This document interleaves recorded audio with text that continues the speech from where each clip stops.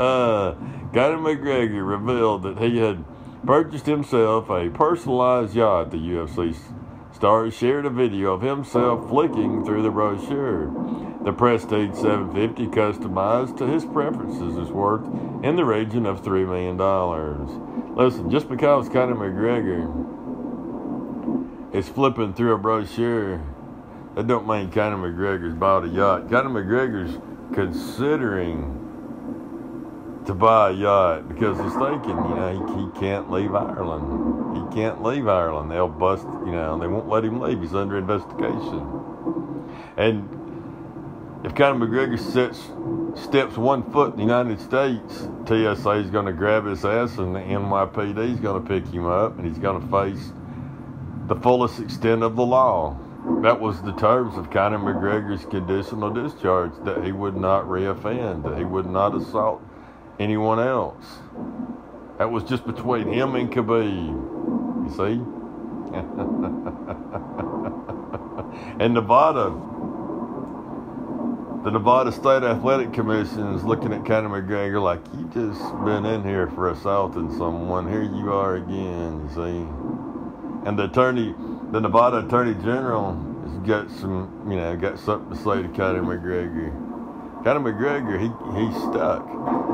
He's between a rock and a hard place, and he's considering to buy a yacht to get the hell out of Dodge. You get so many miles out to sea, and the police can't get you, see.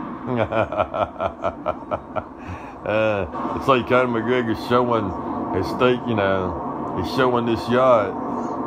He's showing the brochure claiming that he bought a yacht.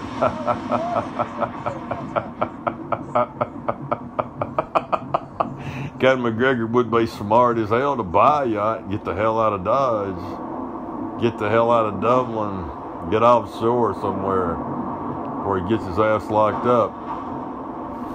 The 75 foot boat has four cabins with multiple living spaces on deck.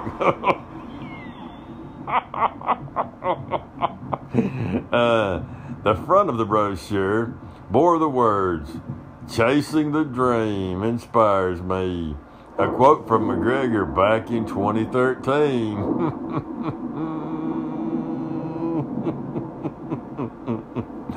uh, it also features a quote from Muhammad Ali, which reads, "He who he who is not courageous enough to take risk will accomplish nothing in life."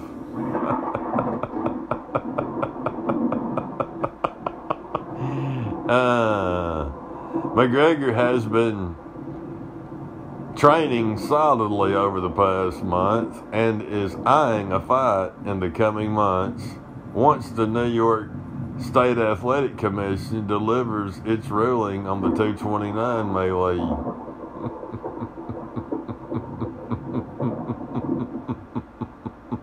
That's what they said. The New York State Athletic Commission.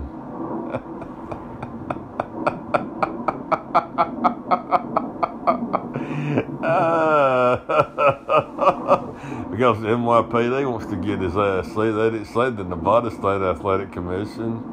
They said the New York State Athletic Commission. Conor McGregor is subject to, to immediate rear, you know, to be rearrested and face the fullest extent of the law. And Conor McGregor is facing multiple felony charges in New York now. Conor McGregor shared a video of himself looking serious, calling himself senior. All these are just pictures. It's just Conor McGregor looking through a brochure. See? Conor McGregor's a con man. Oh, Conor McGregor's got a whiskey business. No, he don't. Conor McGregor does not have a distillery. Conor McGregor does not have a warehouse.